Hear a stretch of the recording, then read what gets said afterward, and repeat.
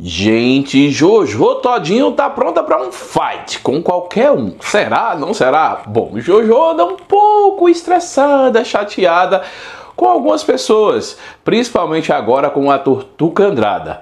Tudo depois que ela brigou com os gays, brigou com a Avon, tretou com Xuxa, com Ivete Sangalo, boicotou a Avon, teve o contrato encerrado e aí a Avon cresceu 30%.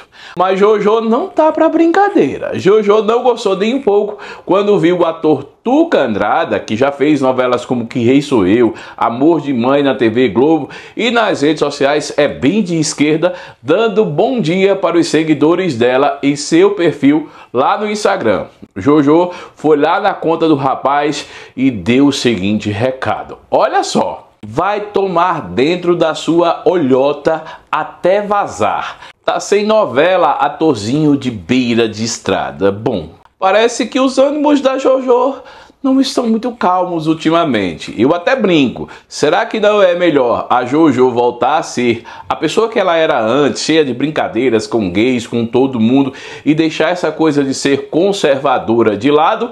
Ou ela deve seguir em frente, brigando com todo mundo para ser senadora ou deputada federal do Rio de Janeiro? O que é que você acha? Me conta que eu quero saber.